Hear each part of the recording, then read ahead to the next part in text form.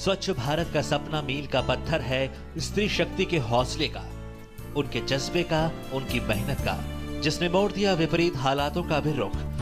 टूटा फूटा घर और खुले में शौच के लिए जाने को मजबूर लोग। कल तक बिधुनु गाँव की यही पहचान थी, लेकिन लता देवी के इरादों ने हालातों का रुख मोड़ दिया।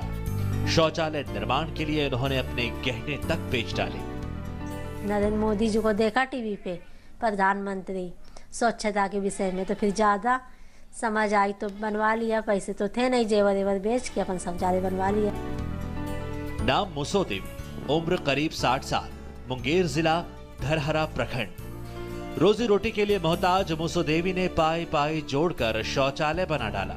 झाड़ फूस की झोपड़ी के बीच पक्का शौचालय बनकर खड़ा है। इधर उधर जाए में दिक्कत हुए रहन सुरदास आदमी छिया इधर खड्डा छन इधर रोड छन गिर जाए रही है। बालक छन हमें तो एबा ज़िंदगी गुजार ले लिए। ये बालक के लिए बने लिए टुआटा पर यह है मोदरता चटर्जी झारखंड में स्वच्छता की ब्रांड एम्बेसडर महज 11 साल की इस नन्ही सी बच्ची के हौसले से आज केंद्र हड्डी के हर घर में शौचालय बनाने का सपना सच हो चुका है। गुल्लक के पैसों को भी शौचालय बनाने के लिए दान कर दिया। इस महिला शक्ति ने स्वच्छ भारत अभियान के नए आयामों को गढ़ा है। समाज को आत्मसम्मान से जीने की नई राह दिखाई है।